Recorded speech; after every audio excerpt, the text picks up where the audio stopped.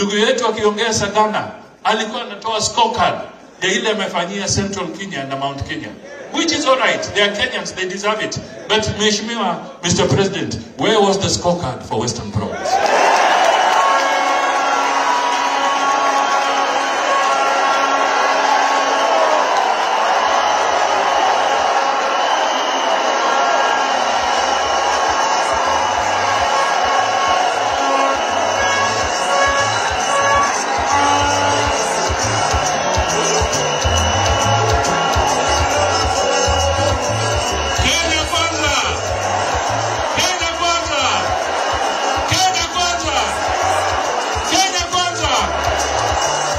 Asante.